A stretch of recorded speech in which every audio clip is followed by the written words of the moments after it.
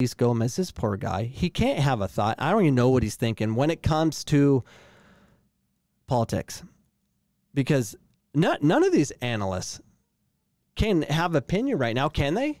They cannot have an opinion because if you don't support what what they say on CNN and the lefties, you cannot have an opinion. If you disagreed and have a different thought process on the conservative side, if you were leaning to the right, you'll be fired.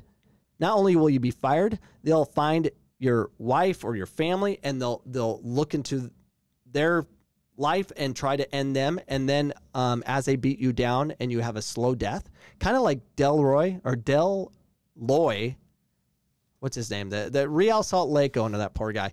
Um, he apologized and said, and they said, sell your teams, sell my teams, and I'm going to apologize. It's not good enough because they're going to go after him forever.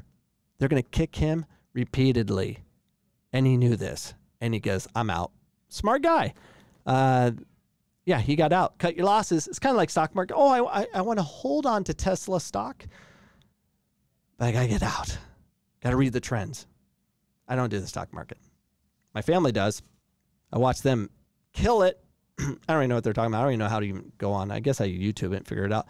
I probably should have done it. I always feel like I shouldn't. I, I'm always late to the party on that. Whatever. The world's coming end very soon, so I'm good. I don't need a. I don't need any stock. Neither do you. So, um, yeah, this ESPN FC Herculez Gomez. And by the way, I played against him a couple times, and the one I remember was uh, in San Diego or LA. He, I think he was playing for San Diego Lasers or LA Later. I forget who we were playing at the time. And uh, we played up there. I scored two goals. We won 2 0. So suck that, Herculez. Yeah, I was fit too back then. Ripped. I'm working on getting ripped again because I'm working out and I'm a plant based diet eater now. Congrats to me.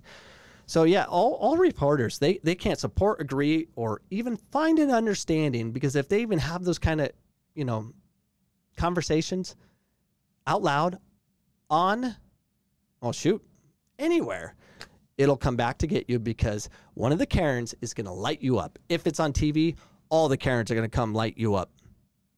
You, you you can't have a perspective. So why even talk about it if there's not anyone that's gonna, that's going to speak contrary to what's going on or have a different thought? Why listen? Don't even talk about it. We don't want to hear it.